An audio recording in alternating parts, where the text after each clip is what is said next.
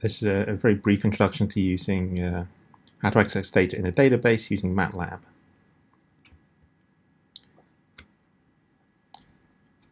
Uh, so everyone said the, the idea of big data nowadays. Organizations increasingly have a lot of data uh, which they need to store in a systematic way. Obviously you have data what you really want is information and need to store it in a systematic way. It's easy to retrieve. And uh, this information for a company can be about orders, customers, or the inventory. And for large data sets, you need something more sophisticated than an Excel file, and uh, much of the data stored by companies are stored in databases. Uh, there are many different types of databases. Uh, probably the most common type is uh, used in the industry is called a relational database. And there are many different types of uh, uh, companies that make databases. Oracle makes one, Microsoft makes one, and uh, but the good news is uh, there's this kind of standard way to uh, extract information from different databases, and that's to use something called structured query language (SQL). And it's used to communicate with a database. You can either input or output data using it, and it is actually a standard. Uh, are various standards that it is. So uh, if you want to extract data from a different database, usually it will support uh, SQL. And this podcast is a very basic introduction to accessing data uh, from relational database using SQL, uh, particularly from uh, a MATLAB program, a MATLAB script. Okay, so this really is a kind of lightning tour of SQL. So the basic idea of SQL is uh, of a relational database is that the data is stored in a table. And uh, you have a little table. Uh, you have to have something a, a, primary key which sort of labels the the rows, and you can have different information in each table. So week 30, week 32, the date, start of the week, and then the orders from a different company. So in this case, it's a supermarket, and they're taking orders for, say, the milk from different farms. One of the things that makes uh, databases a bit different from an Excel file is the fact that there's kind of a best practice uh, that you try not to repeat uh, information in different places. So instead of having the name of the farm, you put in a, a farm ID, and that's related to another table, uh, the farm table here relates the farm ID to the name of the farm, say how many acres it has, and information like that. And uh, and, and this allows much bigger data sets to be made up and make sure everything's kind of consistent. So this is the kind of difference between, say, uh, why you do this and just say an Excel file.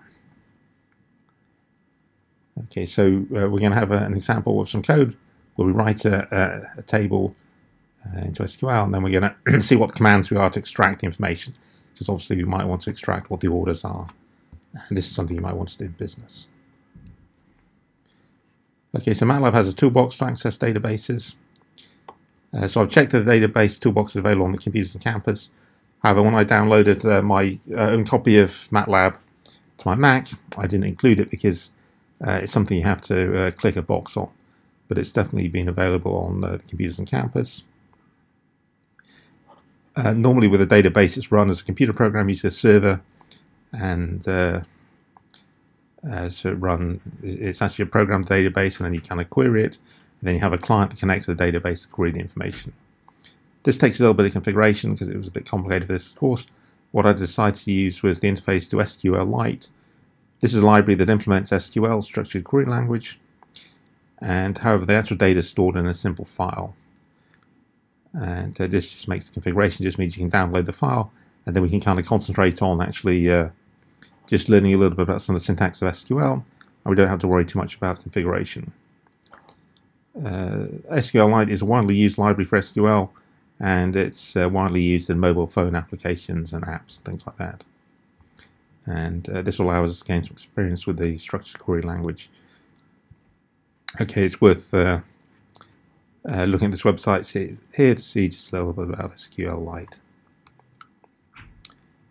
Okay, so let's look at examples. So the supermarket.db uh, is a database file I've already created. Actually, I've created with a Python script. And uh, below is a bit of a section of the, uh, the file uh, example underscore sql.m, which is available on the DLE. And uh, the way it works is con you connect to the file using the SQLite this command, and for this to work, you have to have the uh, MATLAB with the uh, database toolkit installed.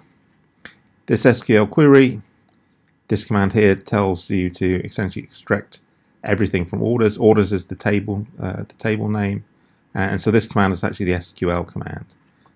And, uh, and then it runs this fetch, runs this command, and it puts the output in results. And then after that, uh, you close com, which is the kind of connection to this file. Okay, so this is what you get from results. You get an array, and this is essentially back to how we have, SQL command, we got essentially get everything. Here's the week number, here's the order number, here's the farm ID, and here's the uh, date table, the, the dates, this is the start of the week. And I have this thing, this ID here is to kind of uniquely uh, describe each row, and it's very similar to, uh, uh similar, maybe not exactly this table here. I've added a few more entries. And uh, Okay, actually, uh, the commands here are actually in something called a cell array, and MATLAB a cell array is what we're using, and a cell array is just an array where the uh, uh, the different columns can have different uh, data types. So this thing here is a string, this here is an integer, and uh, if you look back at the script example SQL.m, I show how to manipulate a little bit with the uh, cell array, but there are simple commands to convert to different formats. Okay, so, so below is a bit more sophisticated example.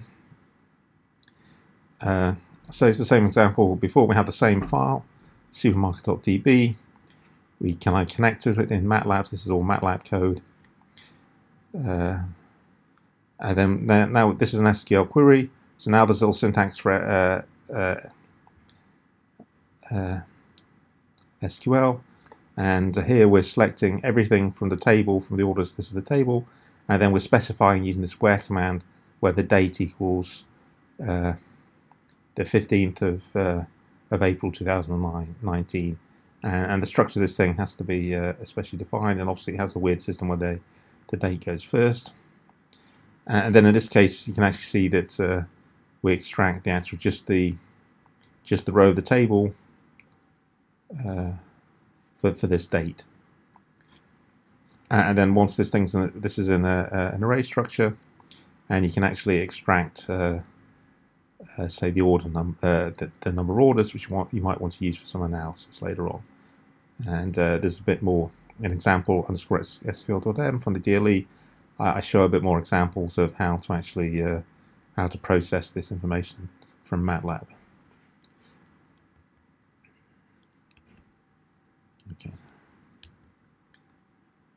Okay, so uh, this is not, uh, this is just background information. So we have a table of information if we go back.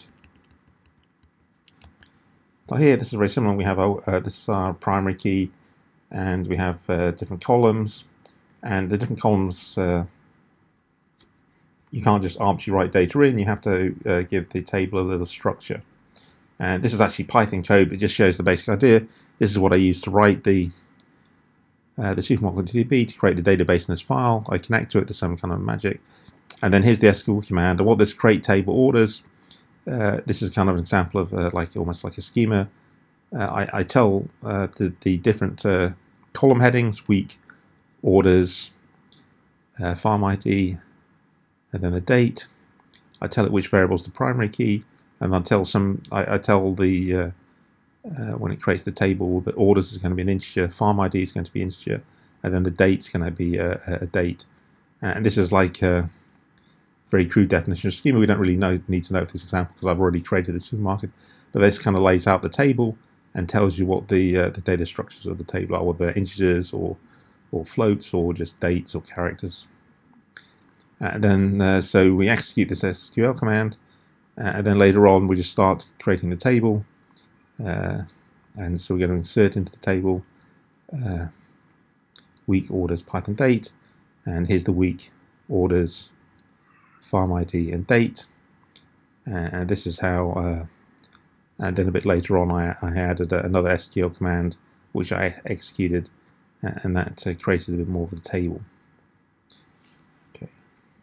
Uh, so, so I should just recall that this is Python, so I'm just showing that the way that uh, a table is defined, that actually the columns have special uh, variables. They're told you have to tell them which each uh, column is and uh, what the variable is.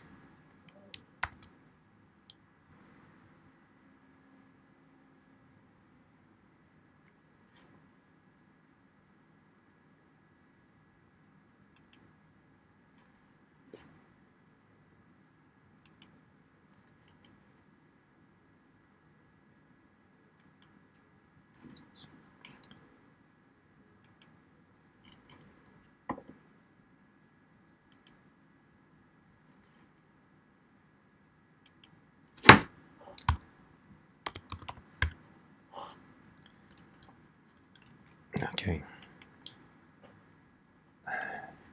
Okay, so we're not really going very deep into SQL here. Uh, so here's an example from the W3 Schools. So there's a, website that goes through SQL, and you can see here, here are different examples of SQL. Select star from customers, select everything from customers, that's the table name, and then there's little syntax. Uh, the additional things like how to use uh, where and uh, and then there's also where to do things like combine tables. I mean, for this for this program, you just really need to look at the for this task. You really just need to look at the uh, examples that I provide and use that. But just for information, there's a whole uh, just uh, uh way of querying these uh, tables. Okay, so that's just a, a quick brief overview of uh, of the SQL.